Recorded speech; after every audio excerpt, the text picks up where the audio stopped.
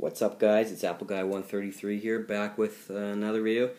Uh, this time it's uh, I'm recording this with the front-facing camera of the new Apple iPad 2. Uh, by the way, let me start by saying I'm sorry I haven't been posting any videos lately. Um, just, uh, what is it, I've been busy for a while, just a whole bunch of stuff. Anyways, uh, so yeah, this, I've find that the camera quality on here is actually uh, quite a bit better than the rear-facing camera.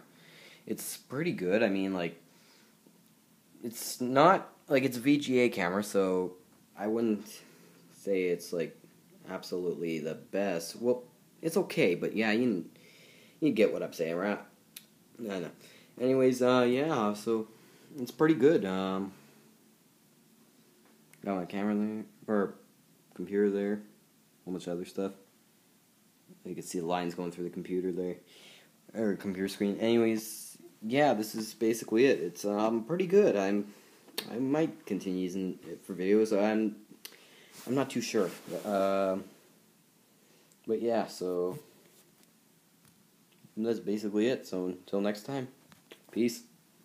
Oh, by the way, um, yeah, I'm trying to remember if I should if I'm bringing out any more videos. I might be later today, but I don't know. So until next time, peace.